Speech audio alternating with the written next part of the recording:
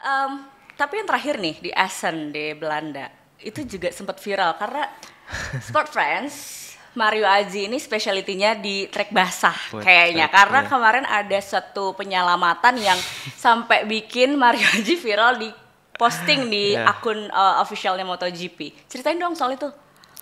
Jadi ah, mungkin Mario overshoot dari tikungan sebelumnya dan Mario nggak lihat sebelumnya kalau di green part itu ada flooding.